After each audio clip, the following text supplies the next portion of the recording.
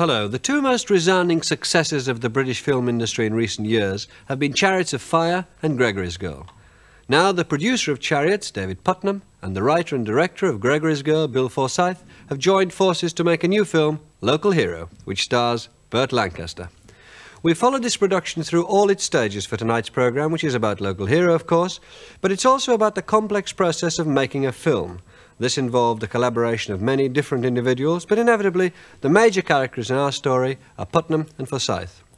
David Puttnam moved into film production from advertising and he's worked away vigorously producing British films for over 10 years. His credits include That'll Be the Day, Bugsy Malone and Midnight Express, as well as Chariots, which of course won him a Best Film Oscar.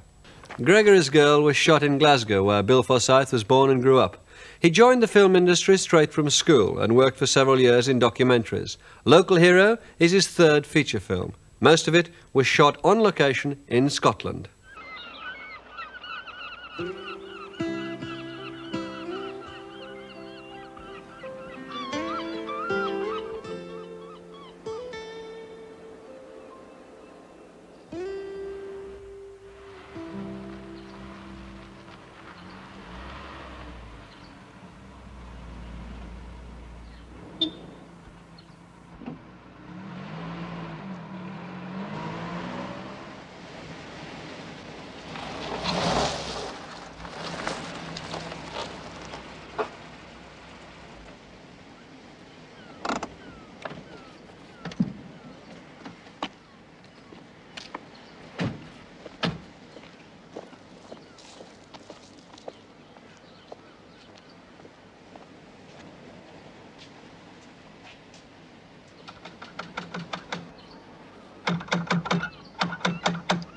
What is it?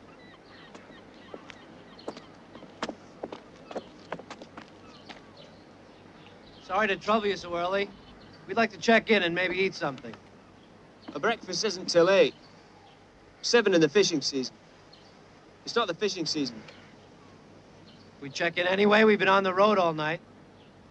We have an injured rabbit also.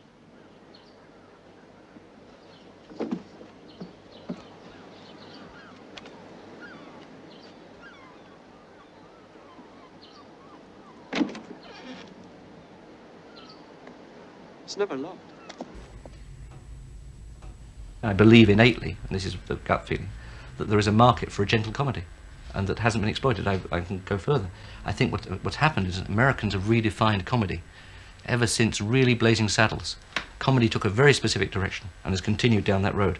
So that comedy today, the word comedy has become synonymous with kind of with zaniness. What we would have 10 years ago described as zaniness has now become comedy. So I thought there was a, a, a gap, you know, that, that moving into zanier and zanier areas had, I thought, created a gap for a gentle comedy, what, you know, the type of comedy I was brought up on. Puttnam had already decided that Bill Forsyth would be the ideal person to write and direct such a comedy. An item in a newspaper provided them with the initial idea for a story. It was about an, an oil man, uh, or rather a Scots accountant, actually, who, in his part time, had negotiated probably the best deal that the, that the British National Oil Corporation ever, ever negotiated. And it was just this weird idea that, and they used to have to break off negotiations while the members of his council, who were farmers, went off to milk the cows and everything else. And the idea of these Americans from, I think it was Texaco in that particular instance, having to sit around up in the Hebrides while, uh, while the people they were negotiating with went about their daily chores and then came back to the negotiating table, which was the village hall, I thought was a, a rich vein. And that's where we started. Once, once I had the basic idea, I, I felt that there was enough for a film there. And as I say, that, that was a very simple idea. It was just the idea of a small community which suddenly was potentially very, very wealthy. You know, like a small community of maybe 50 people who suddenly were all millionaires overnight. That was the first thought, and, and uh, I began to think of old things on TV like the Beverly Hillbillies, stuff like that. So I thought there was there was room for comic ideas inside that situation. Uh, so from there, it was just a matter of hard work, you know, knocking the story into shape. The story involves an American who comes from a very urban uh, environment, and the chances are he's the kind of person who actually hasn't got his feet wet on a beach before, you know, because I'm sure people like that do exist. He's maybe had his feet wet in a in a swimming pool or, or somewhere in, in in Houston, but you know, actually tramping a beach and feeling grass under your feet, you know, that's a different matter. Uh, so I began to see, the, I began to think of the idea of this guy coming and finding himself in a completely natural situation. For instance, he can look up and see the stars, which is another thing that you can't do very readily in Houston. Uh, and so little kind of cosmic things began to kind of insinuate themselves into the story. And um, I became kind of interested in the idea of trying to make a film which was in some ways cosmic, was in some ways addressing itself to something, you know, beyond, but didn't involve uh, hardware like, um, you know, spaceships or, or, or little monsters or things like that, but actually just use things which are lying around the place, which, which, which, uh, which are there, you know, in everyday life. Bill's natural filmmaking technique is to ramble, to investigate side waters and look at characters and uh, evaluate them and, and, everything else. I think that's where his genius lies. Uh, where I was always trying to give the story out, and then what? Okay, and then what happens? And then what happens? So I was trying to give it, I think was termed narrative drive, and at the same time encompass what Bill's very special qualities. But I mean, he may, it's interesting, you're asking me the question, we've never discussed it, and he may say it quite differently. When you're working on a script, if if it's not taking shape or if something or if, if you're casting and something's not working you need you, you need an impetus you need a, a, a kind of driving force and, and uh, I felt that very strongly from David. I knew that this particular tale unless we went potty couldn't cost more than really four million dollars. Well I was immensely bullish about the whole thing first of all the cost of the film and secondly the, you know Bill was now had heat behind him now as a result of uh, Gregory's Girl. I had Chariots of Fire out and released, and I really did think it was going to be, for once, a real breeze to finance the picture. Wrong. we were turned down everywhere. We got turned down rather shockingly, I still believe, by EMI. And I still don't quite understand why. I mean, they said it wasn't the sort of film they wanted to be making. And if you, whatever you can read into that, I'd be very grateful. Um, Rank were, I think, quite enthusiastic, just weren't prepared to put up that sort of money at all for any film not, not this picture. And we know we did the round of the studios. The American studios looked at it slightly askance. I mean, it was a slight piece. And um, it wasn't financed at all. We had half the money from Goldcrest from the very beginning. It wasn't financed at all until actually the night of the British Academy Award. What did they say, all these people on both sides of the Atlantic who turned you down? What was the main thing they'd got against it? Too gentle. Lack of confrontation was one line used to keep propping up. That in fact everyone in the film is basically nice. There, is, there are no unpleasant people in the picture, and they felt that that you know, would give it a lack of uh, dynamic. Um, Bill's humour off the page is quite hard to read, and you have to take it as an article of faith, which you would because you've seen his films, and I did because I'd seen his films. But if you haven't, then I suppose uh, it, it, it's, it's kind of quirky. Reads quirky. Um, general, as I say, a, a, kind of apathetic thing of, of why couldn't you do Chariots too, and why isn't Bill doing Gregory's Girl Returns? That was the biggest single criticism. It was, this doesn't read like Gregory's Girl, or, you know, when you just had a terrific hit like Chariots, why aren't you making a more exhilarating story, they would say. Well, I would have said that if they if they perceived the lack of dramatic uh, confrontation and they were very perceptive, and they were probably more perceptive than I would have given them credit for, because that would that's actually something that which is inherent in the script as far as I'm concerned.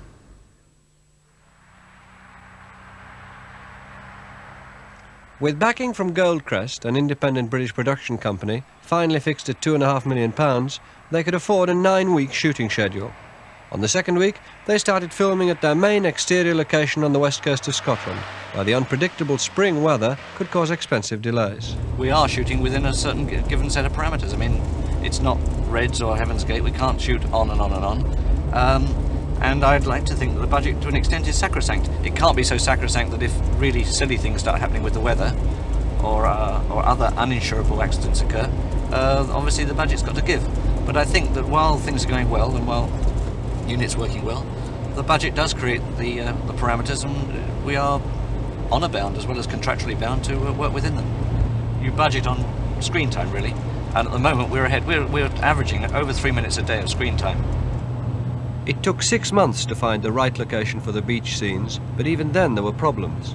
Each day the entire cast and crew had to be driven 40 miles from the nearest hotels in Fort William.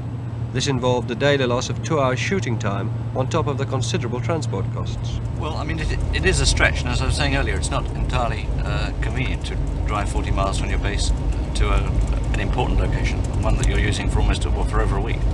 Um, but the story very, very much depends, for its credibility, on the notion that uh, here is a part of the world, on a particular beach, where the, uh, the idea of building a refinery uh, is patently unthinkable. And it's important that the audience believe that, you know, and the audience, when they see it, have the same feeling that the uh, protagonists have. We're getting value for money for it because I think the location is unique and, and quite extraordinary. And it's one of the elements that's going to make the film have scale.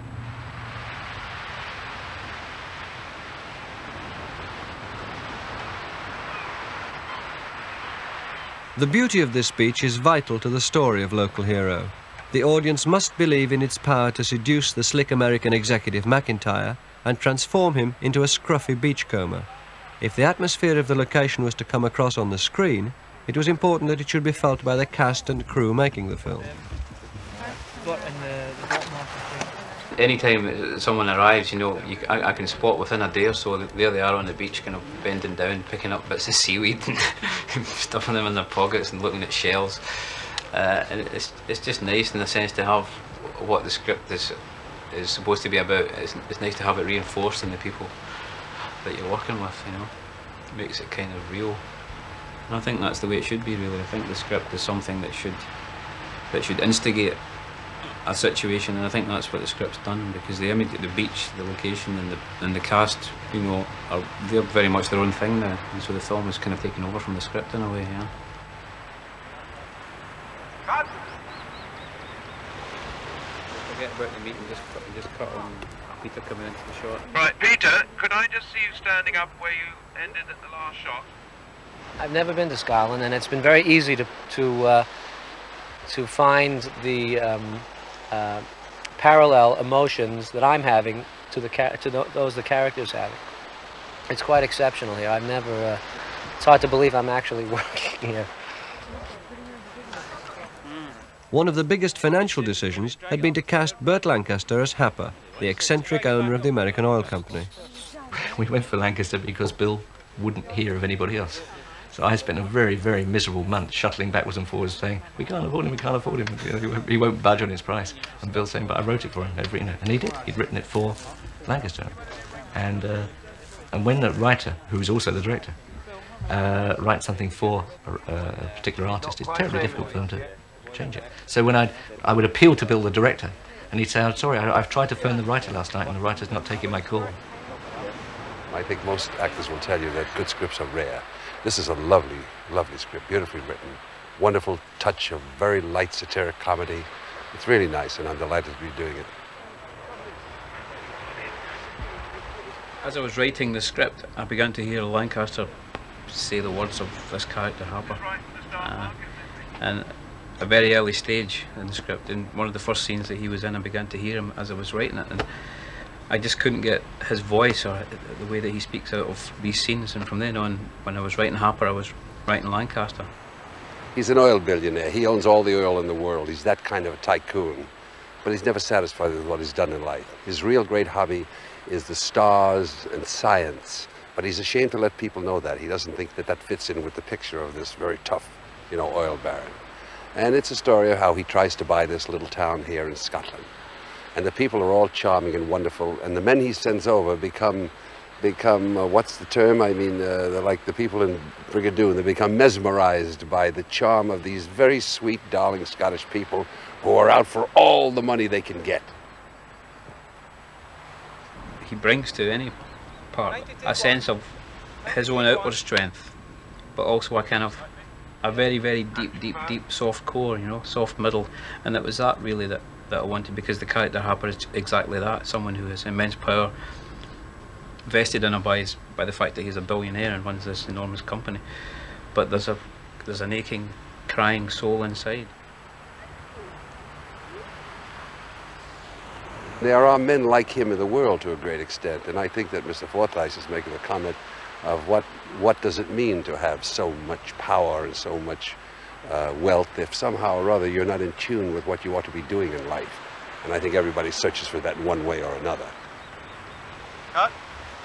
Forsyth eventually brings Happer face to face with a character who's found his own kind of peace of mind. This is Ben, a stubborn old beachcomber and a sort of fairy tale innocent, played by Fulton Mackay. I think Forsyth is very innocent in that way. He sees people very innocent. And uh, I think that's the mark, uh, and will be the mark of his movie making.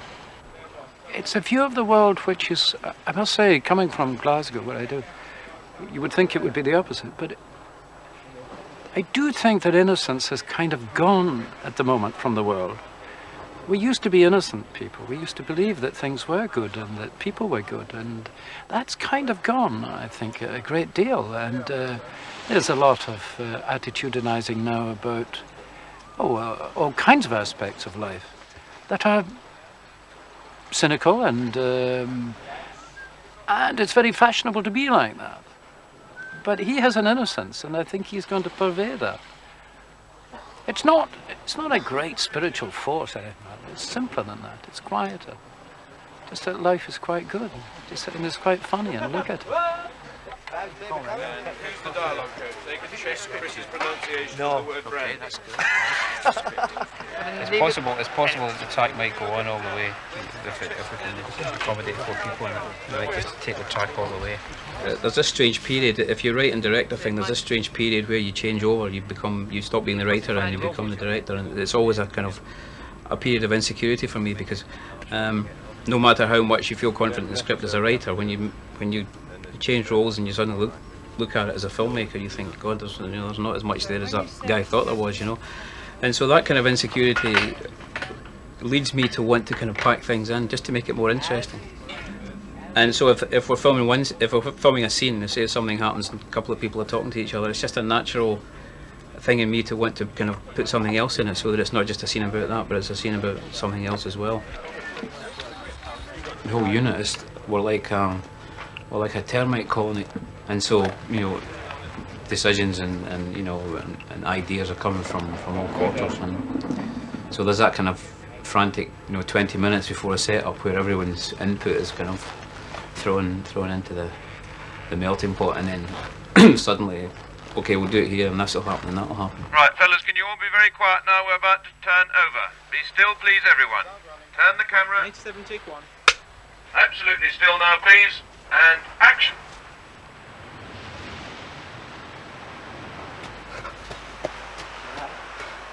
Well, they want some whiskey, and Ben wants some beef sandwiches with mustard and no salt. Did Happer say anything? Well, he doesn't want any mustard at all, he just wants the salt. Nothing else happened? I asked him if they wanted some water for the whiskey. Okay, okay. Stay cool. The qualities most admired in Forsyth's previous films have been the writing and the acting, rather than their visual style. Drink some brandy, Gordon. But this time he's collaborating with one of Britain's leading directors of photography, Chris Menges, whose credits include Gumshoe, Kes, Looks and Smiles, Babylon and Angel, as well as shooting and directing many major television productions. In the past, Puttnam has worked with directors like Alan Parker and Hugh Hudson, who came to feature films with a very strong visual style learned in advertising. One of the things I was looking forward to was the opportunity of working with someone who's, who's if you like, uh, you know, who, whose visual sense wasn't paramount. I have, to, I have tended to work with a lot of directors who, who were essentially visual directors, sometimes uh, like Alan and Hugh, people who enjoyed content, but uh, certainly people who had very, very high visual standards. What I'm finding, which is interesting, is that um, quite the reverse is happening. Uh, Bill's really going for that element in the film and uh, enjoying it. I mean, he's, I think Chris Menges would, would agree. Uh, Bill's demanding of him everything he can offer. And I'd be very, very surprised, very, very, very surprised after two weeks if one of the things that the film isn't given a great deal of credit for isn't its look. It's not, right, this is a dramatic shot and this is we track here and we go up there and we crane around and the light's pouring in and it looks tremendous. That's not what we're about, I don't think. What we're about is trying to capture the script in a very gentle and quiet way. It probably isn't visually exciting in a graphic sense, but, but exciting in the sense perhaps of the early cinema, say like in France in the 50s, where there is a way of looking and holding and trying to get a sense of timing. That's almost as important as the lighting and the sort of graphic content that perhaps we're more used to uh, seeing and doing and making.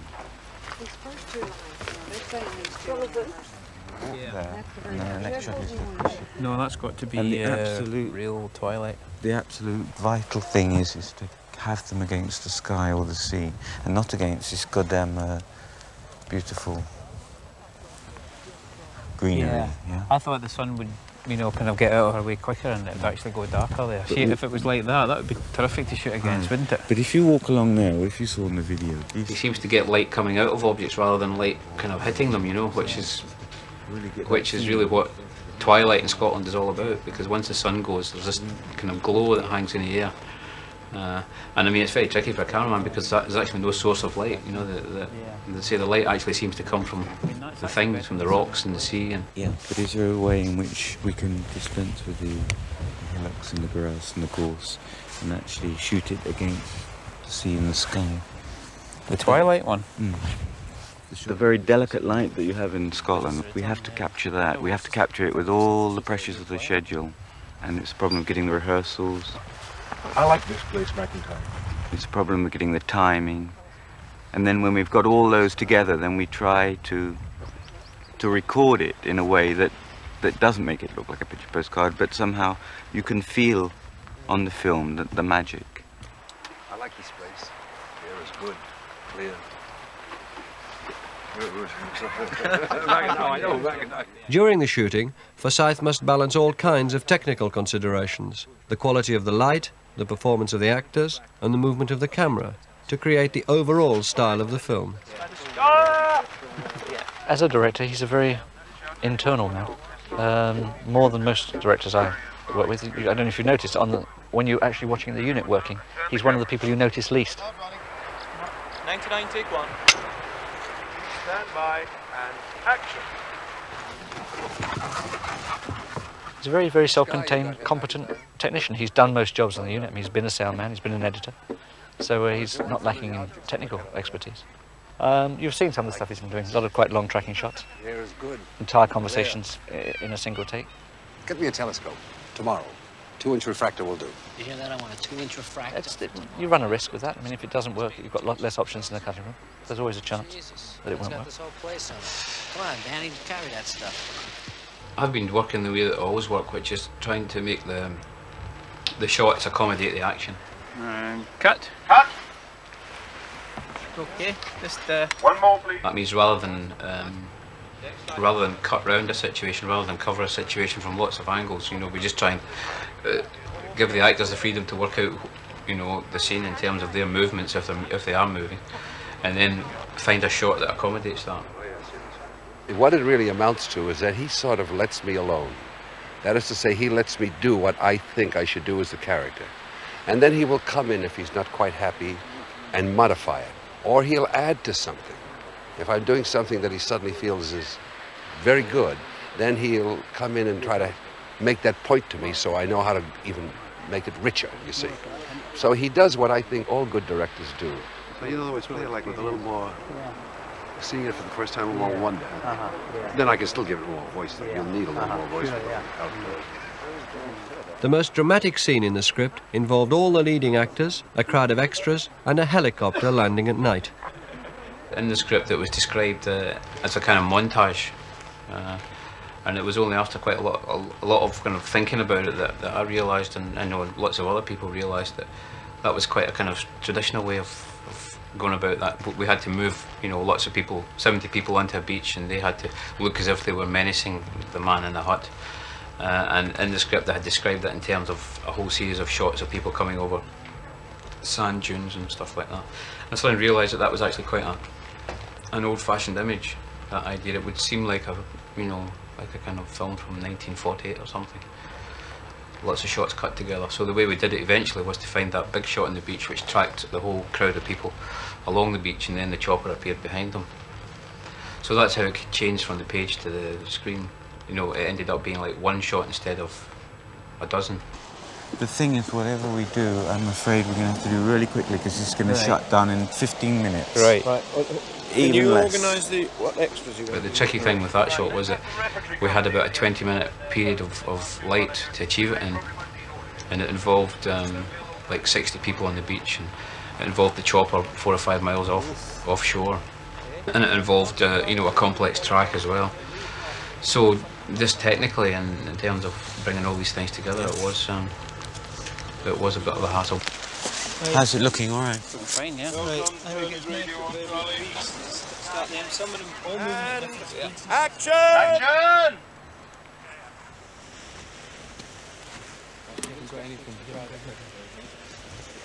Whoops. Okay. Whoops. Crowd start to see the chopper. Start seeing the chopper now. Start looking at the chopper. Coming towards us, aren't you, John? Now turn right, John.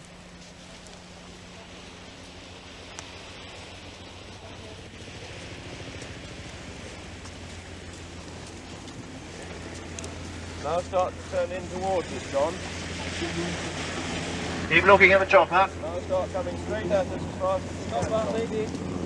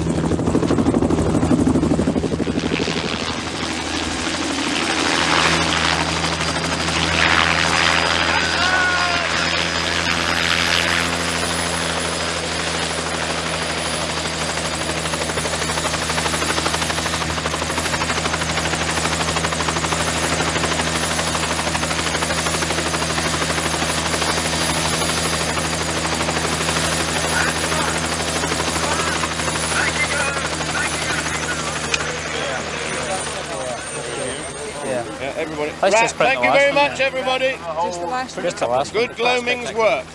Bill, print a couple of them because they're quite spec- spectacular. It's probably the biggest moment of drama that I've ever attempted. You know, and I think it, I think it will work if we stick some music on it.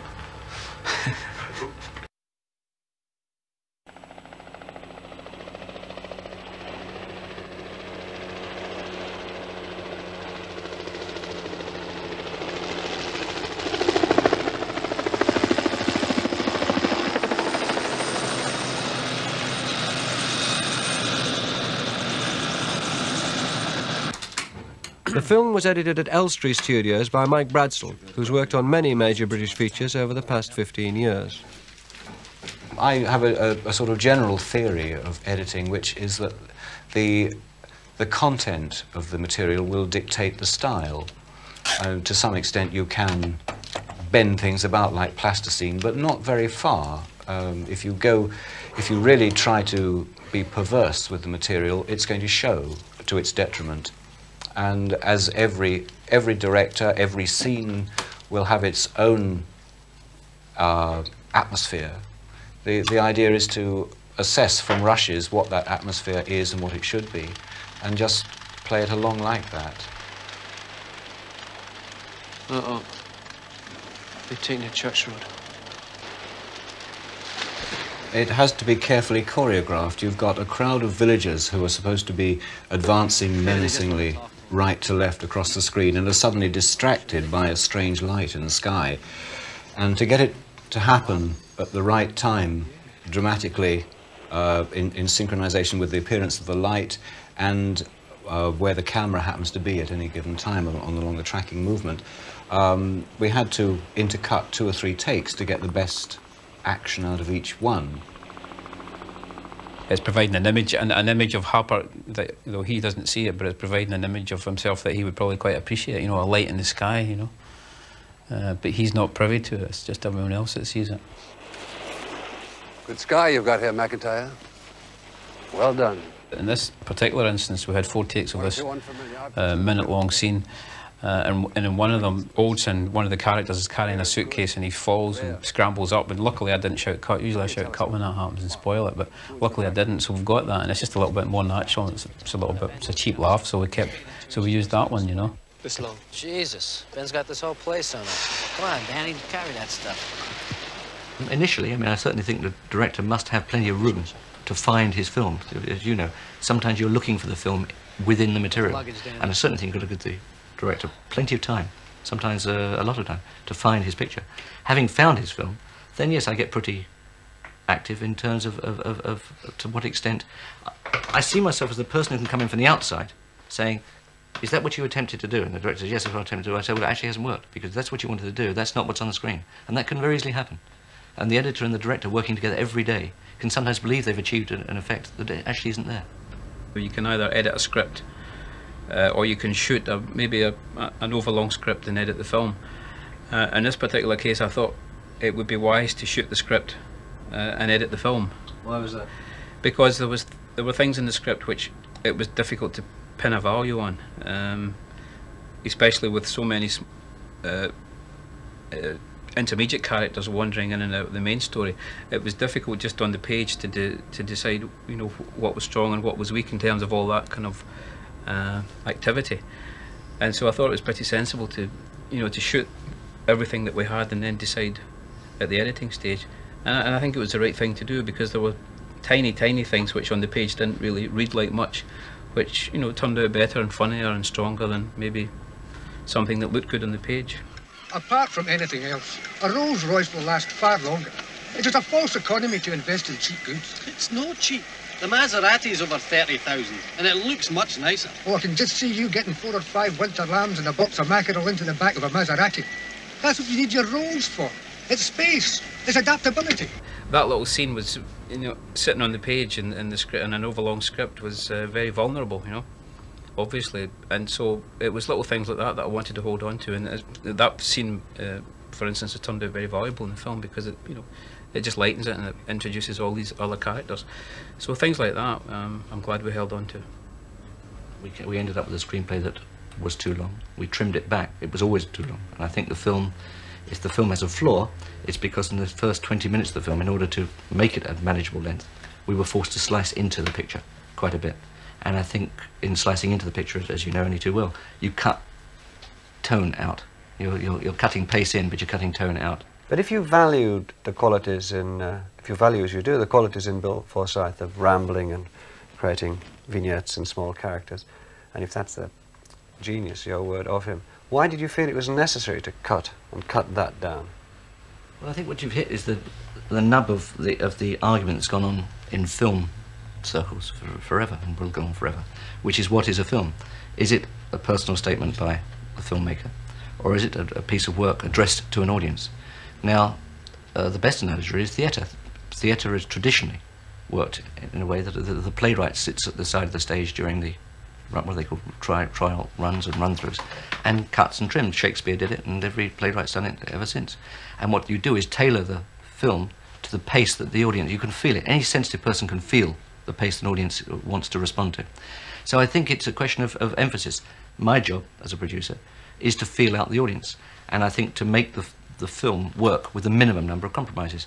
My skill will be how many of those compromises show and, and, and, to, and to what extent those compromises offend my fellow workers, in this particular case, Bill. Uh, I don't think, and uh, this is probably going to cut hard to him saying I've fucked the film up, but I don't think that the compromises we've made are unreasonable ones. I think we have attempted to address the film to, the, to, to an audience that's there, and uh, I think it's a better film.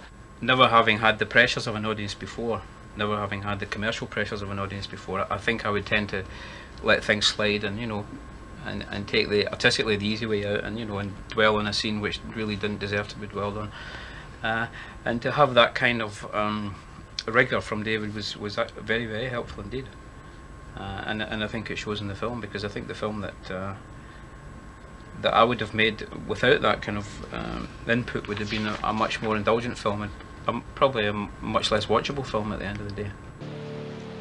They're taking the church road.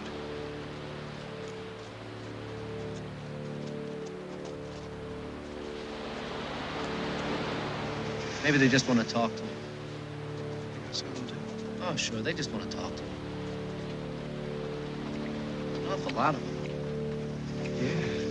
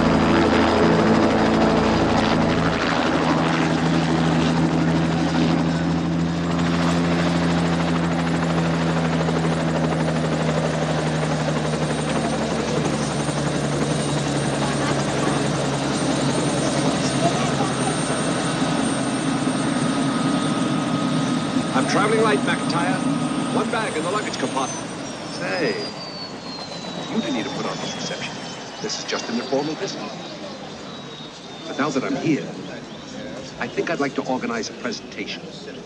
Something these people might need. A church hall, a piano, or anything. I'd like to make a personal gift. You can let me know about it tomorrow. hmm?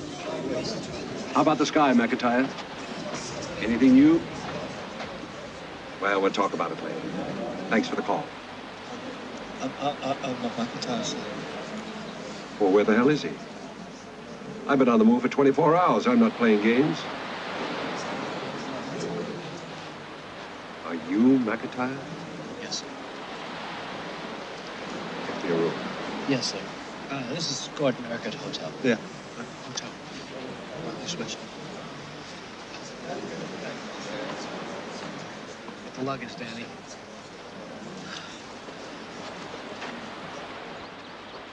Good sky you've got here, McIntyre. Well done. One or two unfamiliar objects to look at up there. I like this place. The air is good, clear. Get me a telescope tomorrow. Two-inch refractor will do. Two-inch refractor for tomorrow. Ben's got a telescope. It's bigger than two inches, though, slightly square. In retrospect, is there anything you wished you'd done differently? Yes. I mean, I think I, I genuinely believe we, we got what we set out to achieve. Um, I'm not a director. Uh, and were I a director, there are probably there is one scene that, as a director, I would have added to the film. But Bill's reason for not doing it was the best reason in the world, which is he, it was a scene for two people having a conversation, and he said, "I don't know what they'd say to each other." Well, you can't argue with a writer-director who's that honest. Also, would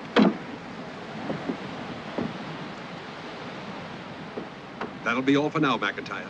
Yes, sir.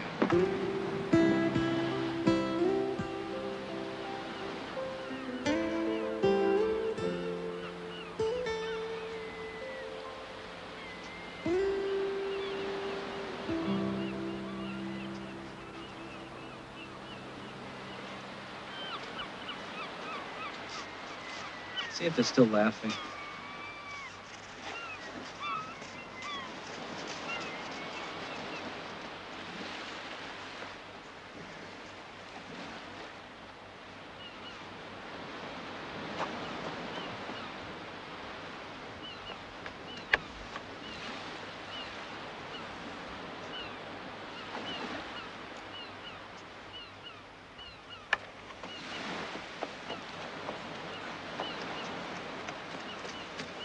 What happened? Well, they want some whiskey, and Ben wants some beef sandwiches with mustard and no salt. Did Happer say anything? Well, he doesn't want any mustard at all. He just wants the salt. Nothing else happened. I asked them if they wanted water for the whiskey. Stay cool, man. It's a good sign. I'll get the food. Bring some brandy back with you, Gordon. I'm dying.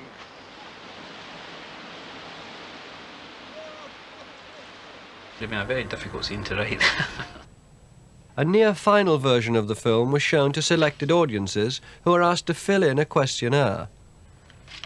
In the light of their comments, some alterations were made, and a second set of previews in England and America received a very favourable response. the gratifying thing was that the people who liked the film were the ones that could write, uh, and the ones who couldn't write were the ones who, you know, felt doubtful about it. They managed to kind of scroll their their um, their unease, you know, on, on the cards, but we seem to have got the literate end of the audience, which is quite good.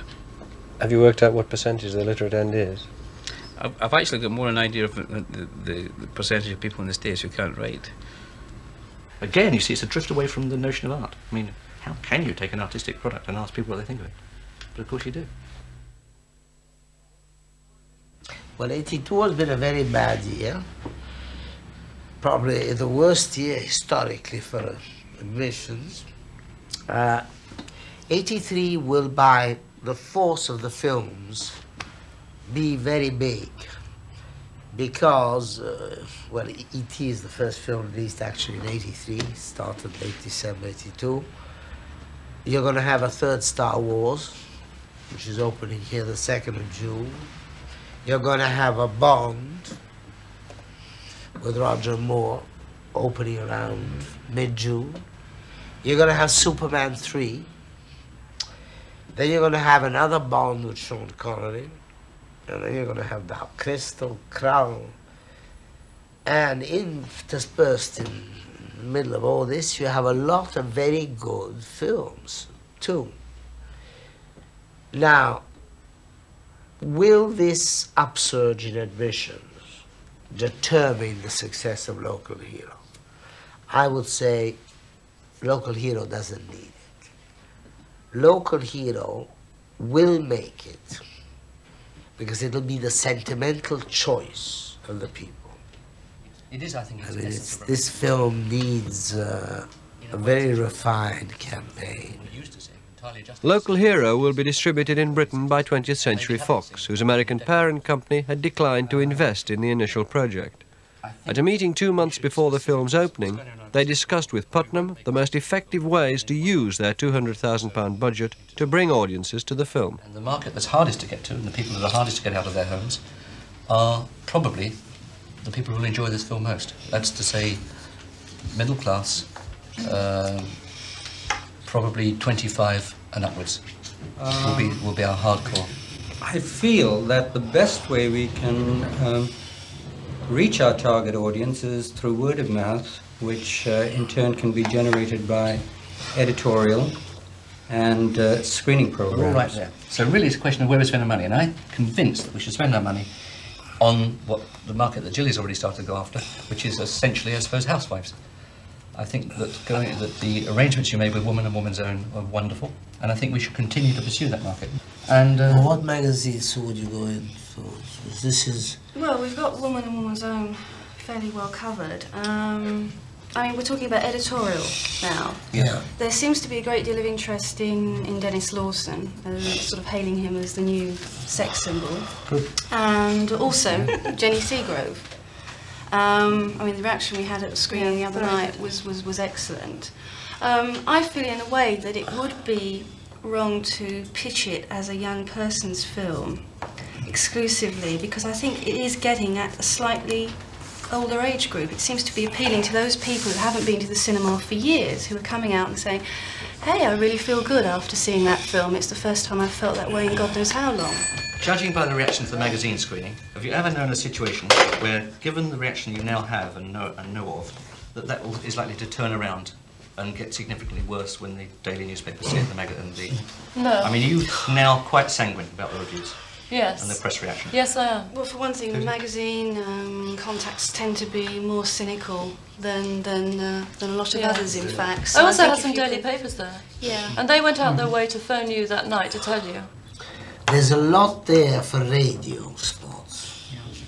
Well, David, I feel that the audience that you feel initially we should be going after will very definitely be reached through editorial. Oh, I'm sure you're right. And through the reviews. Do you want to have a look at some... Should we talk about some ads? Yeah. Yes. Um, we've come up with several roughs, layouts, suggestions.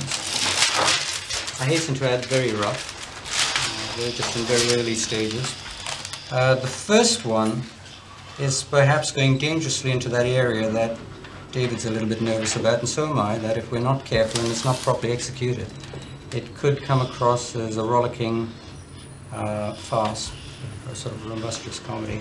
But I think it has possibilities, and I think if the work was properly executed, that uh, it might have some merit.